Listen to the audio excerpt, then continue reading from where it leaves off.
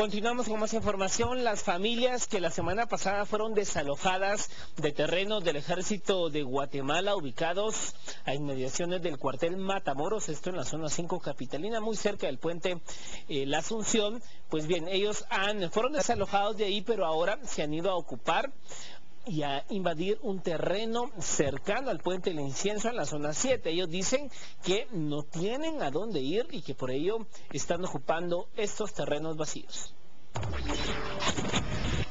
Nosotros, eh, antier, antier de la mañana, sí, como a las 7 de la mañana estamos aquí, antier. ¿Cómo hacen para comer y sobrevivir? Eh, aquí estamos comiendo tortilla, ¿va? Siempre mi, mi, nena se va a ir a comprar tortilla y salchicha de almuerzo. Desayuno, casi que ayer no comimos ni desayuno ni almuerzo. Solo ayer sí. Ah, ellos están contentos, va. Los demás aquí están contentos. Dijeron que vamos a luchar. ¿Dónde vamos a llegar, va? Pero lo vamos a arreglar y vamos a poner. Eh, de la noche vamos a dormir aquí, pero solo aquí. Pues pidimos apoyo, va, que nosotros apoyo aquí para que nosotros vamos a quedar aquí.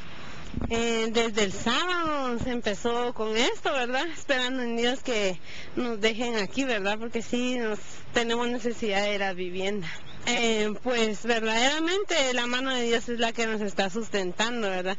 Porque no nos podemos ir de aquí a vender porque perderíamos nuestro espacio. Entonces entre todos los vecinos nos apoyamos. ¿Cuántas familias hay en este lugar? Eh, aproximadamente 200 familias. Pues el agua básicamente es lo que más nos cuesta, pero ahí vamos trayendo de colonias aledañas que nos están haciendo favor de regalarnos agüita.